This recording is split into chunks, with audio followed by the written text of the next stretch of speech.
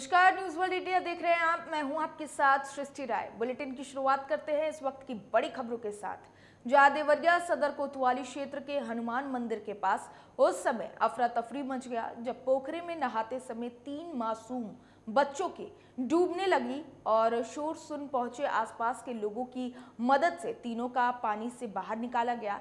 वही Deoria medical college पहुँचाया गया, जहाँ चिकित्सकों ने काजल और उसके छोटे भाई को मृत घोषित कर दिया। जबकि दूसरे लड़के का इलाज चल रहा है, बताया जा रहा है कि मृत भाई बहन अपने ननिहाल देवरिया खास में आए थे, जिनके साथ घटना हुई है। वही सूचना पर पहुँची पुलिस पूछताछ करते हुए छानबीन करने में जुट गई है। वही अगली खबर गाजीपुर से है, जहाँ राज्य बाल अधिकार संरक्षण आयोग के अध्यक्ष देवेंद्र शर्मा ने दौरा किया है। अपने दौरे के तहत उन्होंने जिला अस्पताल, पीकू वार्ड और पोषण पुनर्वास केंद्र का निरीक्षण किया। बाल संरक्षण आयोग के अध्यक्ष ने जिला जेल, कई आंगनबाड़ी केंद्रों और प्राथमिक विद्यालय, कस्तूरबा विद्यालय का भी निरीक्षण किया। इस दौरान उन्होंने व्यवस्थाओं का जायजा लिया। अस्पताल और पीकू वार्ड में मरीजों और तमारदारों की मिलने की चिकित्सीय सहूलियत के बारे में भी जानकारी ली। उन्होंने जिला जेल का मुआयना कर हालात की जानकारी भी ली। महिला बहना है, वहाँ पर मैंने देखा कि उनके सात बच्चे थे और उनसे भी मिला और वहाँ पर हमारी जो योजना चल रही है, जैसा कि आप लोगों को मालूम है कि हमारे मुख्यमंत्री जी महिला और बच्चों के लिए काफ़ी संवेदनशील हैं।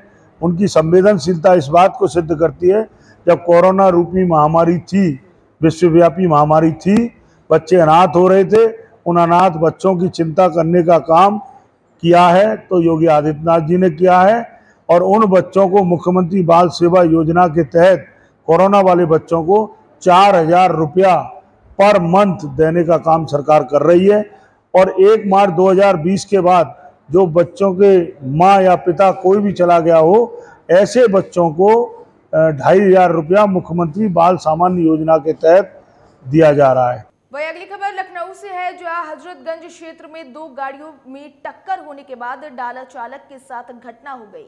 पुलिस द्वारा तत्पारत से कार्रवाई कर चालक को सकुशल बरामद करते हुए अभियोग पंजीकृत कर लिया गया है। वही घटना में प्रयुक्त गाड़ी सहित अभियुक्त को हिरासत में ले लिया गया है। कल दिनांक एक आठ 2023 को सोशल मीडिया पर एक वीडियो संज्ञान में आया जिसमें कुछ लोगों के बीच में लड़ाई होती हुई दिख रही थी। इस प्रकरण में दो गाड़ी यानी एक गाड़ी और एक डाला के बीच में टक्कर हुई थी और टक्कर होने के बाद इनका वाद विवाद हुआ। वाद विवाद होने के बाद जो कैब ड्राइवर है, उसके साथ ज़ोर दब, जो डाला ड्राइवर था, उसके साथ ज़ोर ज़बरदस्ती करते हुए उसको ले जाया गया। वही अगली खबर पौड़ी से है, जहाँ जिला मुख्यालय पौड़ी में मासूम बच्ची के कुत्ते के झुंड द्वारा काटने के मामले ने तुल पकड़ लिया है। और वही कलेक्ट्रेट भवन के समीप युवा कांग्रेस ने प्रदर्शन कर पालिका अध्यक्ष का पुतला फूका है। वही जिला प्रशासन और नगर पालिका प्रशासन के खिलाफ जमकर नारेबाजी भी की। लोगों ने कहा कि जल्द आवारा कुत्तों और मवेशियों से निजात नहीं मिले तो युवा कांग्रेस उग्र आंदोलन करेगी। प्रतिदिन यहाँ पर कुत्तों, सांडों, आवारा पशुओं की संख्या में बढ़ोतरी होती है। लेकिन शासन, प्रशासन और नगर पालिका के जो अध्यक्ष यहाँ पर गहरी निद्रा में सोए हुए हैं, उन्हें कुछ यहाँ पर दिखाई नहीं दे लगातार यहाँ पर सांडों द्वारा लोगों को मारा जा रहा है, बंदरों द्वारा लोगों को काटा जा रहा है। ये मैं देखती आई हूँ और वहाँ एक वार्ड मेंबरों में से मैंने, मैं ही आवाज़ उठाती आई हूँ हमेशा। और आजकल जो ये आज ही नहीं बल्कि मुझे लगभग छः महीने से ऊपर हो गया ये बात सुनते हुए कि रास्तों में कुत्ते काटने पे लगे हुए हैं। मैंने ये सूचना नगर पालिका में एसआई को बहुत पहले दे दी थी। तो लेकिन एसआई का या नगर पालिका प्रशासन का कहना ये है कि हम कुत्तों को मार नहीं सकते हैं, हमारे लिए ऊपर से आदेश नहीं है। वही अगली खबर उत्तर प्रदेश से है, जहाँ मुख्यमंत्री योगी आदित्यनाथ से विश्व बैंक की टीम ने बुधवार को मुलाकात की। विश्व बैंक के सदस्यों ने कहा कि प्रधानमंत्री नरेंद्र मोदी के विजन के अनुसार उत्तर प्रदेश में अवस्थापना विकास और औद्योगिकरण, कूड़ा निस्तांतरण, गरीबी उन्मूलन, नियोजित शहरीकरण, पर्यावरण संरक्षण आदि सेक्टर में बीते छह सालों में उत्तर प्रदेश को नया क्लेवर मिला है। वही वर्ल्ड बैंक के कार्यकारी निर्देशक परमेश्वरन अय्यर ने प्रदेश में हुए विकास कार्यों की तारीफ़ करते हुए मुख्यमंत्री योगी आदित्यनाथ को इसके लिए बधाई भी दी है। महाराष्ट्र और गुजरात के बाद बता दें कि ये विश्व का प्रतिनिधि मंडल उत्तर प्रदेश आया है। इस प्रतिनिधि मंडल में 100 ताकतवर देशों का प्रतिनिधित्व करने वाले लोग हैं। वर्ल्ड बैंक के कार्यकारी निर्देशक परमेश्वरन अय्यर ने कहा कि देश में बीते 9 साल और उत्तर प्रदेश में बीते 6 सालों में काफ़ी अच्छा काम हो रहा है। उन्होंने कहा कि वर्ल्ड बैंक का मिशन हमेशा से ही गरीब उन्मूलन का रहा है, मगर अब पर्यावरण संवर्धन को लेकर भी हमारा विशेष ज़ोर है। वही अगली खबर की तरफ़ रुख करते हुए बता दें कि पश्चिम बंगाल की मुख्यमंत्री ममता बनर्जी ने विपक्षी एकता की अगली बैठक की तारीखों का ऐलान कर दिया है। हालाँकि तारीखों को लेकर उन्होंने संभावनाएँ व्यक्त की हैं। इसके अलावा मुख्यमंत्री ने एक बार फिर भाजपा पर निशाना साधा है।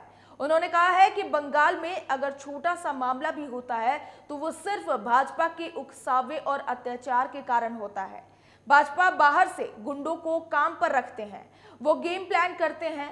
वही ममता इतने पर ही नहीं रुकी।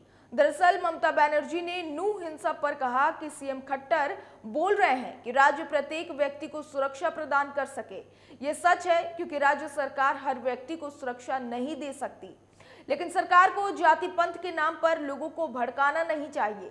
भाजपा देश और राज्य को विभाजित कर रही है। सरकार को राज्य में शांति स्थापित करने के लिए कोशिश करना चाहिए। वही अगली खबर में बात करेंगे राजीव चंद्रशेखर की, जहाँ कांग्रेस के नेतृत्व वाली यूपीए सरकारों पर हमला करते हुए केंद्रीय इलेक्ट्रॉनिक्स और सूचना प्रौद्योगिकी राज्य मंत्री राजीव चंद्रशेखर ने कहा कि उस दौर में 2G जैसे घोटालों ने भारत में टेलीकॉम सेक्टर को तबाह कर दिया।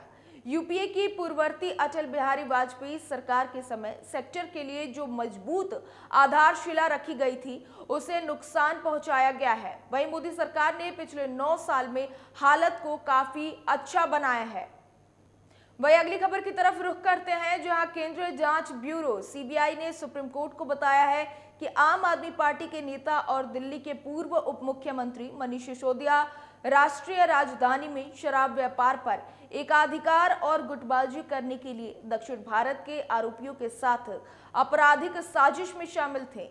जिहाद सिसोदिया की जमानत याचिका के विरोध में दायर जवाबी हल्फनामे में सीबीआई ने तर्क दिया है कि सिसोदिया ने दिल्ली उत्पाद शुल्क नीति के बारे में जनता की राय गढ़ी है। इस बुलेटिन में फ़िलहाल के लिए बस इतना ही। देश और दुनिया की तमाम बड़ी और अहम खबरों के लिए देखते रहिए न्यूज़ वर्ल्ड इंडिया। धन्यवाद।